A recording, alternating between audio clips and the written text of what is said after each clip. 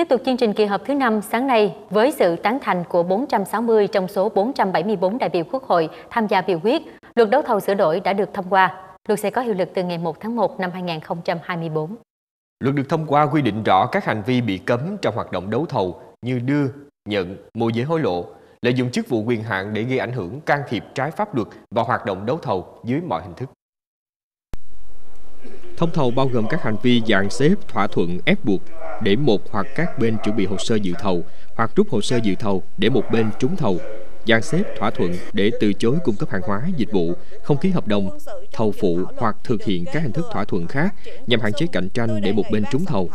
Ngoài ra còn có nhà thầu, nhà đầu tư có năng lực, kinh nghiệm đã tham dự thầu và đáp ứng yêu cầu của hồ sơ mời thầu nhưng cố ý không cung cấp tài liệu để chứng minh năng lực, kinh nghiệm khi được bên mời thầu yêu cầu làm rõ hồ sơ dự thầu hoặc khi được yêu cầu đối chiếu tài liệu nhằm tạo điều kiện để một bên trúng thầu.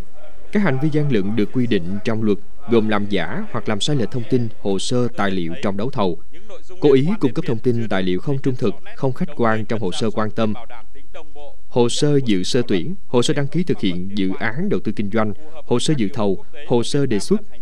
nhằm làm sai lệch kết quả lựa chọn nhà thầu, nhà đầu tư. Luật quy định rõ việc chỉ định thầu được áp dụng trong 12 trường hợp.